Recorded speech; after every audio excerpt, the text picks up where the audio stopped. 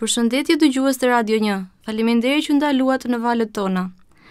Në studio jemi me doktorin e mirënjohur Petrit Leka, ku në rast se na keni ndjekur në emisionin paraardhës, diskutuam për smunjen e cila Quhet ndryshe dhe sëmundja e shekullit. Diskutuam për kancerin e gjirit, folëm për metodat parandaluese, diskutuam për grupmoshat të cilat prek e shumë të tjera.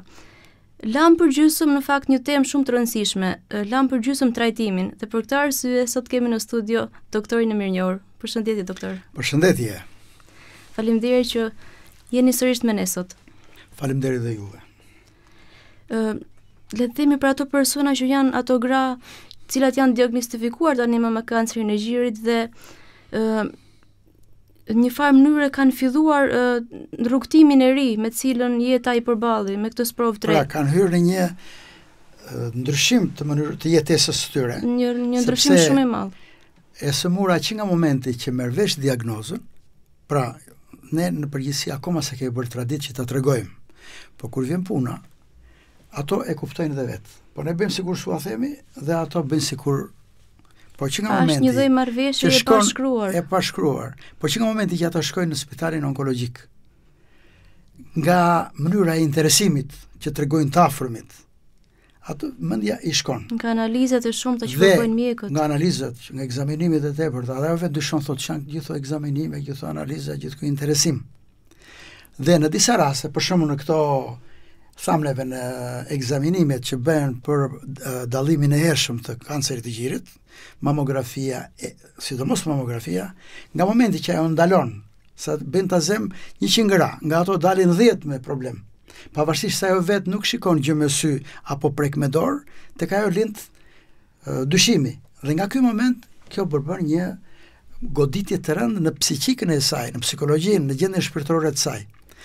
Pra, dhe kujdesi ndaj këtyre të sëmurave fillon që nga ky moment, Çfarë kur ato diagnostikohen. Specifik duhet të tregohet për këto të sëmura? Tani, për atë që sapo është diagnostikuar, masa ta zëmë, thamë që bëhet biopsia, nëse përcaktohet diçka malinje, mm -hmm. atëherë i nënshtrohet ndërhyrjes kirurgjikale të parë, se te kanceri i gjirit, në varësi të stadit të zhvillimit që ka, është parë efikas heqja e masës dhe pastaj vazhdimi i mjekimit të saj me në varësi të analizës imunohistokimike që del, po dhe analizave të tjera të markuesve tumoralë, përhapjes në trup, përcaktohet dhe rruga e ndjekjes, që nga kirurgjia, kimioterapia, radioterapia dhe kujdesi pastaj i vazhdueshëm dhe me mjetet mbrojtëse dhe ndihmuese të saj. Por këtu kujdesi ka një specifikë, E para duhet të ruhet gjendja psikologjike, sepse këto menjëherë kalojnë në gjendje ankthi, gjendje depresive. Domethënë, krahas lodhjes që mund të ketë ajo në jetën e përditshme, tek tani fillon kjo lodhje shtohet, fatik që i themi neve. Por në të njëjtën kohë tek ajo fillon dhe mërzitja, pra kalon në depresion, ankth depresion. E para duhet ndarë tani, Ky depresioni është i lidhur me këtë, është veç apo bashkëjetojnë të dyja, sepse të dyja kanë mjekime të ndryshme. Nëse është lodhje që nënkupton një stad të avancuar të sëmundjes, ka tjetër trajtim. Mm. Dhe nëse është ndikuar nga momenti që është psikologjike, do dhe ndihmën e vet psikologjike dhe shpirtërore. Kjo është në fazat e para. Kur ne pretendojmë që sa më herët ta zbulojmë, e heqim masën tumorale dhe e, pre, e, e konsiderojmë pothuajse të shëruar, të kuruar. Prandaj dhe kanceri i gjirit nuk është ndonjë fatalitet në kuptimin që për të marrë dënim kapital. Nëse kapet herët dhe trajtohet brënda disa regullave dhe kritereve, mund të kalohet. Por, ça e bën të vështirë? E bën të vështirë gjendja psikologjike. Nga momenti që e sëmura njihet me këtë, vet ankthi, stresi dhe depresioni e agravojnë gjendjen, sepse stresi, ankthi, depresioni uh, ulin sistemin imunitar, imunitar dhe shtojnë proceset patologjike të sëmundjes. Pra krijojnë në trupin e njeriut e, e ato forca. Ne kemi thënë që ka një sistem të mbikëqyrjes imunologjike. i cili dhe kur qelizat e kancerit janë të fshehura midis qelizave të shëndosha, faktori imunitar i trupit të njeriut nuk i lë të zhvillohen. Por sistemi imunitar dëmtohet shumë dhe nga stresi, nga mërzitja, nga ankthi dhe depresioni. Pra në këtë fazë ka rëndësi më të madhe kujdesi psikologjik, shpirtëror, social se sa masat e tjera. Por krahas tyre pastaj vazhdon këshillimi që nga jeta ndryshimënyrë, jeta aktive, dieta ushqimore, të jetë e plotë, të ketë të gjitha, sidomos vitaminat, fruta, zarzavate, perime, terapia e ujit që kemi thënë, të gjitha këto ngrenë sistemin imunitar. Aktiviteti i saj, moskalimi në pasivitet, e rrit forcat imunologjike dhe krijohet mundësia, si është ajo që thuhet, sëmundja, i sëmuri dhe mjeku. Nëse i sëmuri lidhet me mjekun, pra zbaton këshillat, kujdeset për veten e vet, e mundin sëmundjen. Nëse e sëmura bashkohet me sëmundjen, nuk dëgjon këshillat, thotë mbaroi puna ime me kaq, ajo është e predispozuar pastaj që të kalojë një gjendje më të rëndë sëmundjes. Por për sot neve mendoj kemi temën kur e sëmura është kap në një stad të avancuar.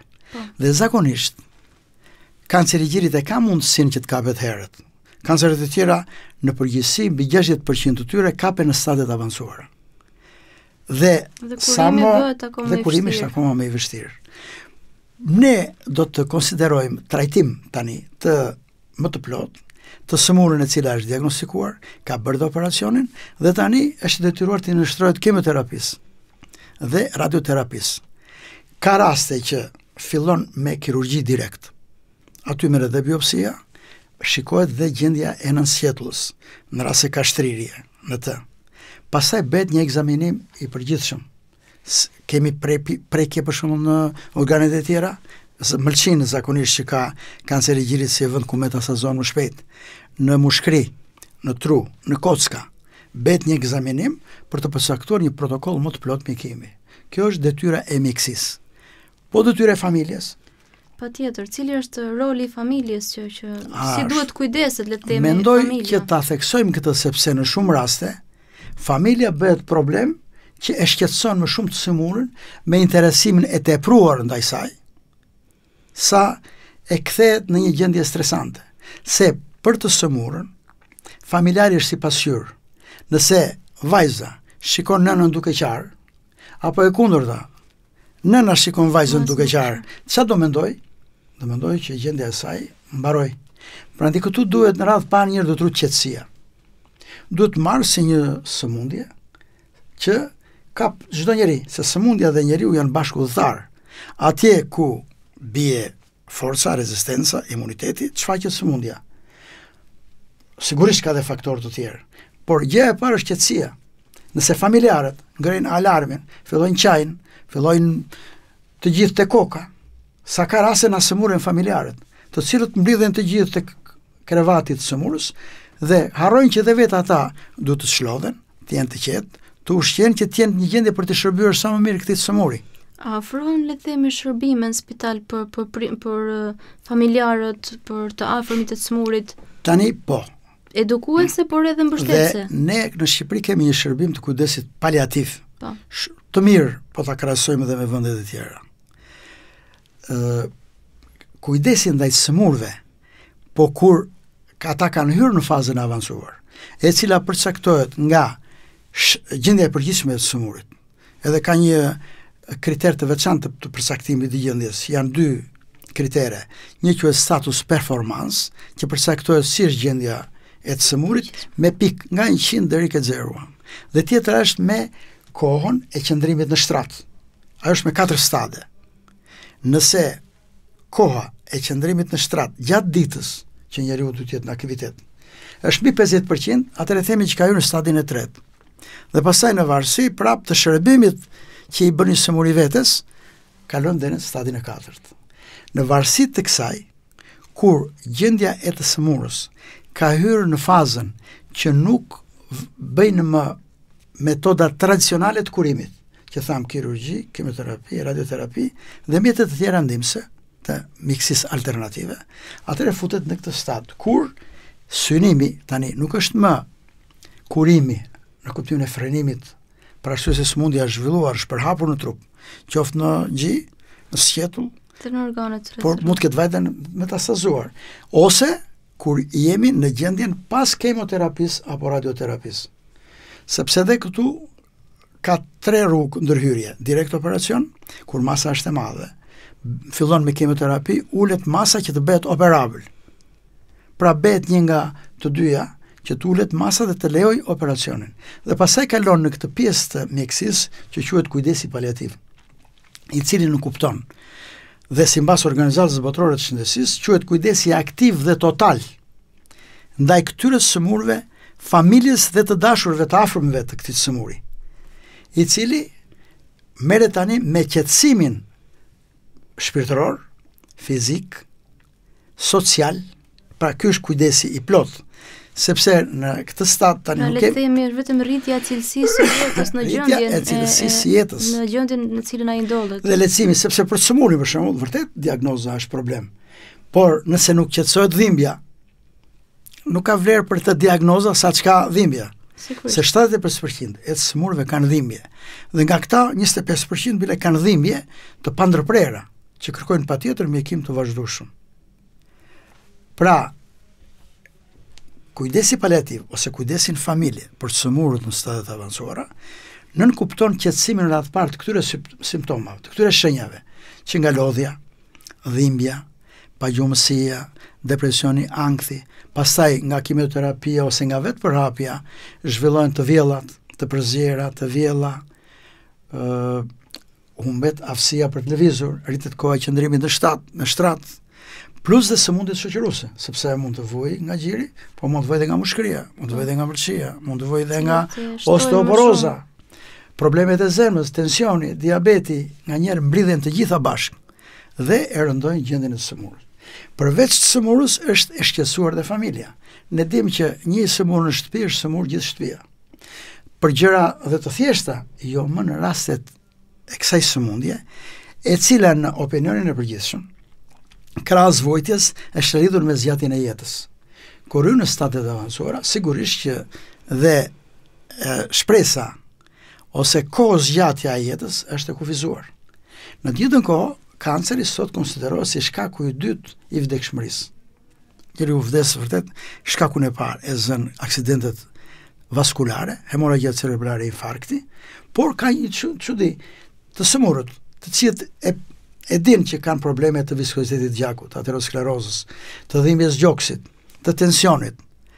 janë jo të kujdesshëm, bile mund thua trima, megjithëse janë të rrezikuar për humbjën e jetës, sepse një krizë hipertensive mund të shkaktojë një hemorragji cerebrale, ose një insuficiencë të zemrës, dhe sh shanset, por prapë ai kalon gjendjen dhe vazhdon të njëjtën jetesë, vazhdon duhanin, dietën e këto tjera të paji ndërsa te kanceri dhimbja nuk është shoqëruese dhe nuk ka ndërsa te kanceri vazhdimisht është krijuar nga vuajtja që po, zhvillohet gjatë asaj sëmundje dhe fillon vuajtja përpara sa ndonjëherë ne i themi familjarëve mos se fillojnë qajnë që sa po marrin vesh prisni se ka kohë tani për tani duhet të jeni dhe ju të qeta të ruani dhe qetësinë para të sëmurës sepse Ajo që ju mendoni si më të keqen, ka kohën e vet. Pra, alarmi, stresi, te këto të sëmurë është më i madh, sesa të sëmurët e tjerë që rrezikohen nga këto aksidentet vaskulare. Mbase mund të vdesin edhe më përpara, le të themi se sa... Më përpara se sa ka ecurinë apo dekursin klinik sëmundja.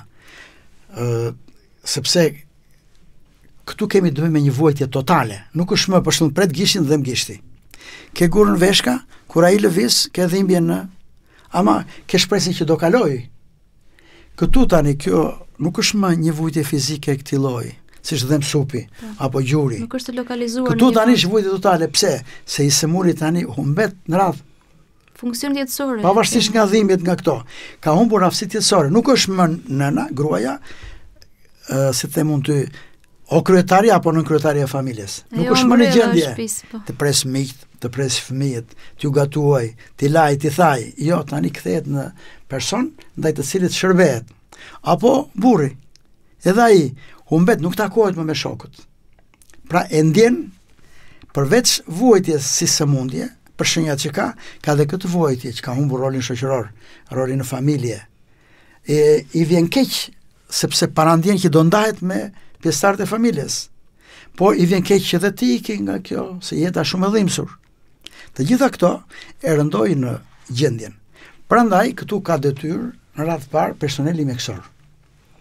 Dhe me legislacion... Do të qëndrojmë këtu, uh, po. më fal që ndërpres, do të qëndrojmë këtu, çfarë kualifikimi duhet të ketë përveç mjekëve, uh, specializuar pjesa tjetër e stafit, duke patur parasysh që thamë është, domethënë, prek totalisht sferën jetësore, jo vetëm atë sferën fizike, çfarë uh, profesionistësh duhet që t'i jenë afër të sëmurës. Tani dhe tek ne, shërbimi shëndetësor ndaj këtyre të sëmurëve gradualisht po fillon të realizohet me ekipe multidisiplinare, po? ku kanë brenda mjekun, infermierin, punonjësin social, psikologun, farmacistin, fizioterapeutin.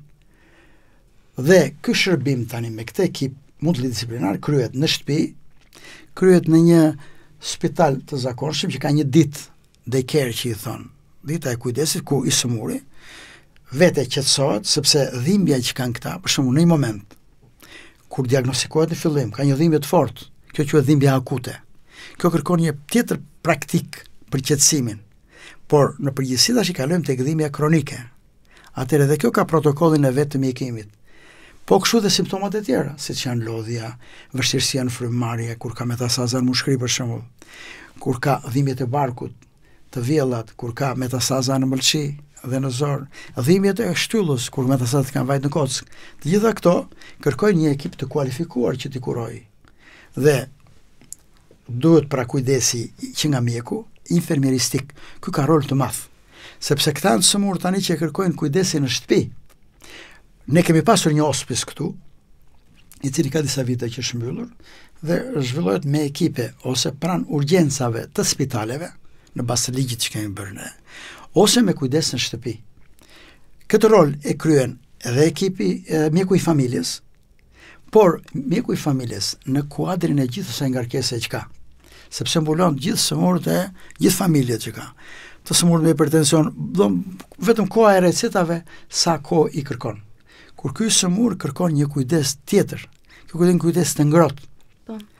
Ë pra, lind nevojë një kualifikimi shtesë. Lind jo vetëm kualifikimi, po ngritja e ekipeve të vogla, jo vetëm në se tash e kemi neve në qarqe, Po. Për shembull Durrësi, Korça, Tirana, Shkodra, Vlora, por janë në rrethe të tjera, për shembull Lushnja, Librazhdi ta zëmë, Pogradeci, Erseka, a është në gjendje që ky mjek i kualifikuar apo infermierja e Korçës të ndjekë edhe Maliqin, atë pra duhet që të kualifikohen dhe në çdo njësi banimi, të veçantë infermieri dhe mjekja që të jenë specialistë për trajtimin e këtyre të sëmurëve. Deri vonë, këta konsideroheshin dhe akoma është ky koncept. Thonë, o, oh, im shoq për shembull, apo gruaja, apo motra, apo nëna, ka një sëmundje nuk shërohet ajo. Ia kemi bërë të gjitha, po, i kemi bërë skaner, thotë, i kemi bërë këtë, këtë. Por jo, ai i sëmurë do një qëndrim afër të personelit mjekësor, dhe përshkrimin e gjithë atyre, rregullave, simbas rregullave që ka përcaktimi. Se çfarë konstatojmë ne që jemi specialistë për shembull, dhimbjen nuk arrijnë ta trajtojnë simbas protokollit të dhimbjes. Vetëm për trajtimin e dhimbjes është bërë një studim 5 vjeçar nga 5 profesorët më të mirë në 5 vende të ndryshme të botës dhe u përcaktua që mjekimi i dhimbjes së tumorit, të kancerit, kalon në 5 shkallë. katër shkallë.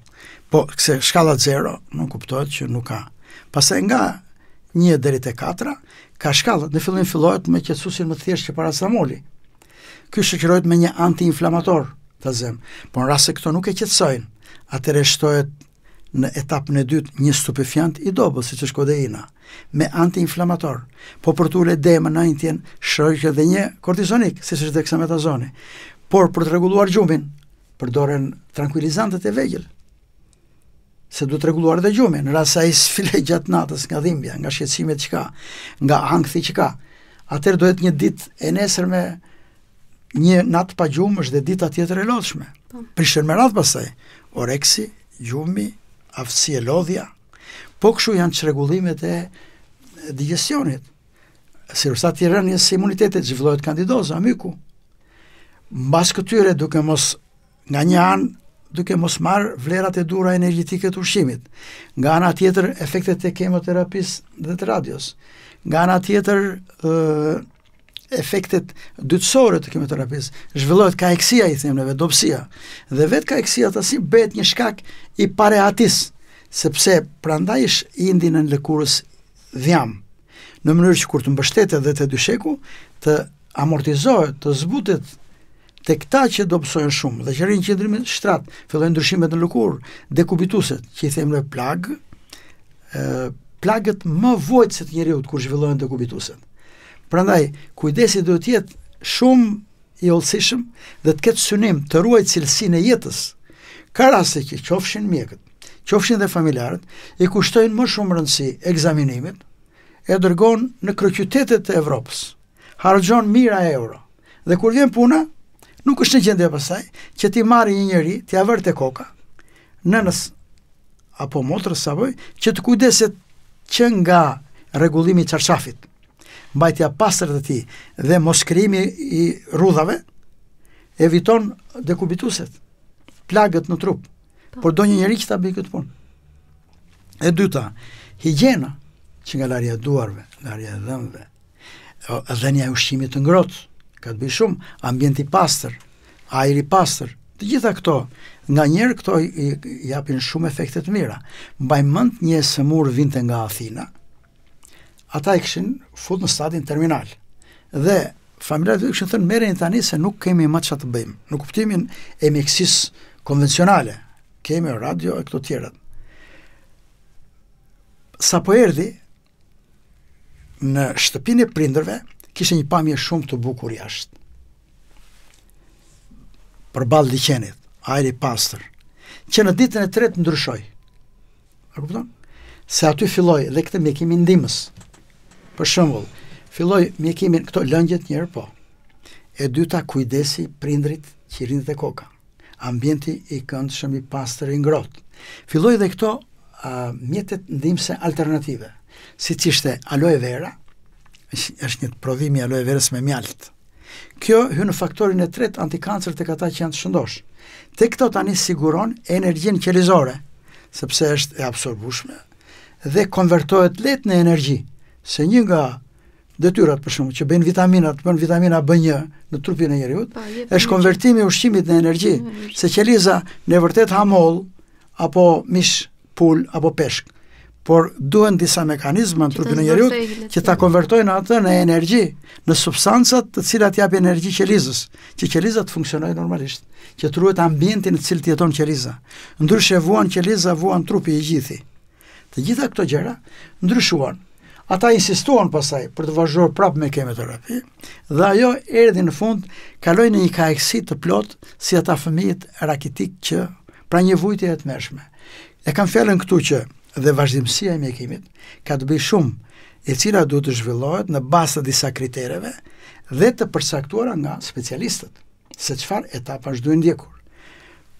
Në shumë raste për shumë efekte të mira janë marrja e perfuzioneve, sidomos në periudhën e verës, po dhe tek ata që rrinë në dhoma të ngrohta që djersisin, duke mos marrë lëngje aq sa duhet, dehidrohet trupi.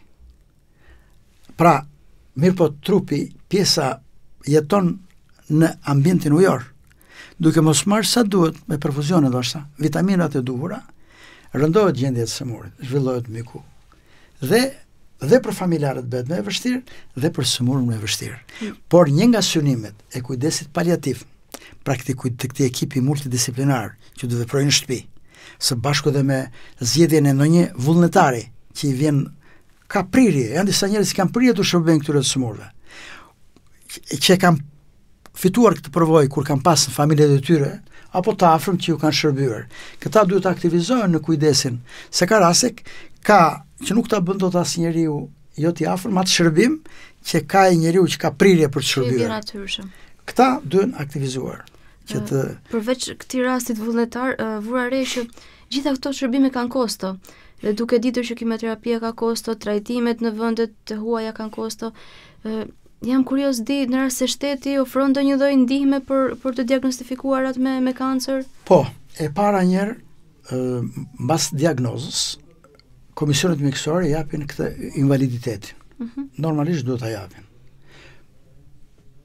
Plus që me ligj mbrohen dhe ata që nuk përfitojnë kriteret e kempit, sepse duhet të jesh i siguruar, duhet të jesh, por me ligj këta përfitojnë një farë përkrahje. që duhet t'u jepet nga shteti, qoftë personit kujdestar, qoftë të sëmurit vetë. Dhe tek ne kjo gradualisht po hyn në funksion. Domethënë është një një një është, aspekt pozitiv sigurisht. Po, sepse këta të sëmurë vijnë të harxhuar i themi ne. Po. Qoftë nga ekzaminimet, qoftë nga trajtimet e shtrenjta. Dhe kur vjen puna në këtë fazë, familjarët në përgjithësi ngrejnë duar, thotë jemi harxhuar.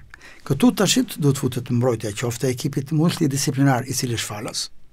Pra shërbimi këtyre duhet t'u jepet falas dhe duhet t'u jepet i kualifikuar me synim të ruhet cilësia e jetës së këtyre të sëmurëve dhe dinjiteti i tyre. Pra, Sepse çdo jetë ka një fund, por kjo duhet të jetë me sa më shumë dinjitet dhe të përfshijë gjithë kujdesin brenda, që nga kujdesi mjekësor, kujdesi social, kujdesi shpirtëror, kujdesi edhe fetar. Po, një aspekt shumë i rëndësishëm aty shpirtëror. Sepse po duhen të gjitha aspektet. Prandaj quhet kujdes aktiv dhe total. Përballë kësaj vuajtje totale që ka i sëmuri dhe familja dhe shoqëria. Doktor, shumë faleminderit për informacionet, për kohën që ndatë me ne dhe dëgjuesit tanë. Faleminderit dhe juve. Urojmë shërim këtyre të sëmurëve, vuajtje sa më të pak, dhe nga ana tjetër edhe një thirje për personelin që shërben, që këta të sëmurë të kenë një trajtim të veçantë, qoftë në afinitetin ndaj tyre, ndaj tyre dhe të afërmve të tyre. Duke filluar nga empatia, themi. Po, Duke filluar nga pra, empatia. Pra, që nga fjala e ngrohtë përkushtimi ndaj tyre, duhet të jetë me synimin që të minimizohet sa më shumë vuajtja e tyre. Atëherë është realizuar dhe detyra që kemi ne ndaj të sëmurëve. Faleminderit sërish. Faleminderit. Të dashur dëgjues, erdhëm në fund të emisionit edhe për sot. Mirë u dëgjofshim në emisionin e radhës.